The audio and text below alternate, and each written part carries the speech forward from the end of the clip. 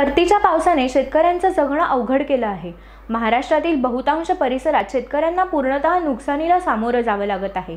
भात पिकासाठी प्रसिद्ध असलेल्या मावळ परिसरात देखील यंदा शेतकऱ्यांच्या हाती निराशाच लागली आहे. यंदा पावसाने चांगली हजेरी दिली. शेतकऱ्यांनी देखील मोठ्या दिलाने पावसाचं स्वागत केलं. पेरण्या केल्या भात लागवड मोठ्या प्रमाणावर झाली. मात्र परतीच्या पावसाने शेतकऱ्यांना वेठीस धरले. प्रचंड प्रमाणात झालेल्या पावसाने पिकांचं होत्याचं नव्हतं झालं.